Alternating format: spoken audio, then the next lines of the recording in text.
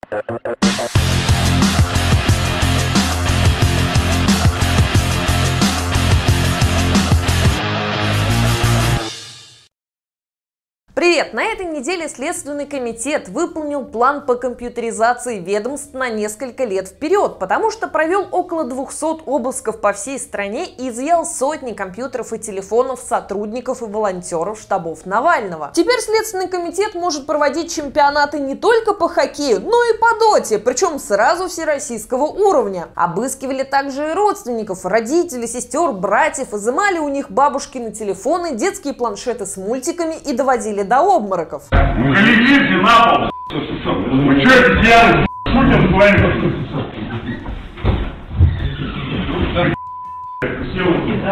Сломали глазок, а, ругались матом, грубили, угрожали, обещали сломать дверь. А, вот, э, сотрудник полиции вырвал меня телефон из рук, при этом взломав руку сотрудника. Я попросила сотрудников СК отправить моего ребенка к бабушке, чтобы она не смотрела на весь этот ужас, но мне было отказано. Нет.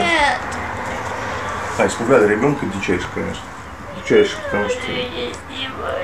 Помимо обысков у всех еще заблокировали банковские счета на невероятные суммы. В основном это 75 миллионов, которые фигурируют по делу ФБК, но есть и исключения. Прежде всего, конечно, не мог не отличиться мой родной Саратов. У нас своя атмосфера. Тут у сотрудника штаба и волонтерки заблокировали по миллиарду рублей на каждой карте. А вот у координатора Курганского штаба заблокировали сразу 7,5 миллиардов, что примерно равно годовому бюджету самого Кургана. Он пожаловался в техподдержку и оказал, что в Тинькове реально поставили лишние нули. Перед ним извинились и сказали, что, мол, не переживайте, завтра поменяем блокировку с 7,5 миллиардов на всего лишь 75 миллионов. У меня тоже есть карта этого банка, и знаете, когда мне приходит зарплата, что-то нули никто не путает, а жаль. Как будут жить теперь эти люди, неизвестно, а единственная их вина в том, что им заплатили официальную белую зарплату за честную работу, причем из денег, которые жертвовали люди по всей стране. И отдельно меня здесь раздражает, что в каждое сообщение о блокировке очередного миллиарда на счетах сотрудников Навального приходит человек, который спрашивает, ну откуда у него миллиард-то на счете был? Никакой эмпатии и желания разобраться. Тяжело жить в России, тяжело. А еще на этой неделе в Москве прошел самый абсурдный на свете парад. Все Садовое кольцо перекрыли и выгнали с тротуаров людей, чтобы показать по телевизору это.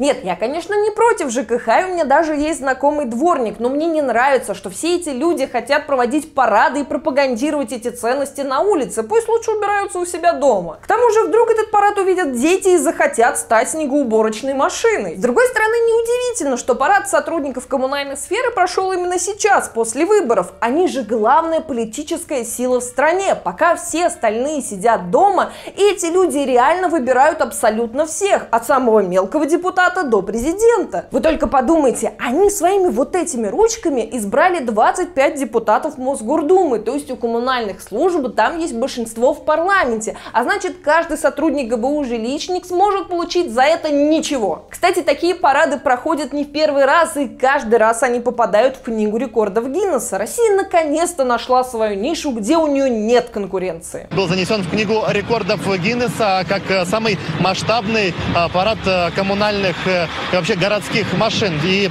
надо сказать, что э, по многочисленным просьбам именно жителей столицы э, в очередной раз э, он был проведен, потому что ну, вот тогда действительно, как они говорят, запал в душ. Забавно, что ведущий говорит, как москвичи ждали этот парад, но на улицах нет ни одного москвича. Для репортажа даже пришлось снять какую-то ложу для высокопоставленных лиц, что вообще тоже немного странно. А, Сергей Семенович, здравствуйте, извините, что беспокою. А проходочку на парад организуйте, пожалуйста, жена очень хочет посмотреть на мусоровозы. Но вообще говоря, немного странно проводить парад пустых автобусов и машин реанимации в стране, где одна машина скорой помощи должна обслуживать десяток деревень, да и та не ездит, потому что дорогой бензин. Такая неделя, такие новости. С вами была Марина Мизинова. Подписывайтесь на наш канал, а также, пожалуйста, не забывайте нам ставить лайки под роликом. Спасибо, что смотрите нас. Всем пока, увидимся через неделю.